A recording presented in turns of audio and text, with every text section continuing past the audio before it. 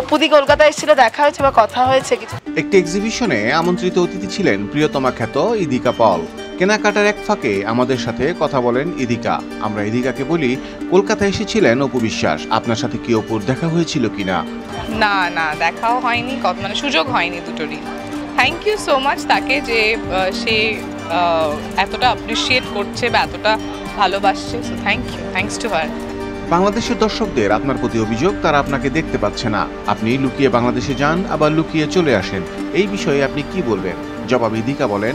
হ্যাঁ আমি কিছু কিছু দেখেছি যে যারা লিখছে যে সামনে থেকে তারা দেখতে পাচ্ছে না। তবে হয়তো সামনে থেকে সামনে থেকে ডেফিনেটলি তাদের সঙ্গে আমার কথা, কথাও হবে, দেখাও হবে ডেফিনেটলি হবে। তবে ওটাও একটা সারপ্রাইজ হবে আর কি ব্যাপারটা। সবাইকে সারপ্রাইজ দিয়ে যাচ্ছি, তো ওরা একটা সারপ্রাইজ থাক, দেখা যাক, নিশ্চয়ই আশা করি হবে।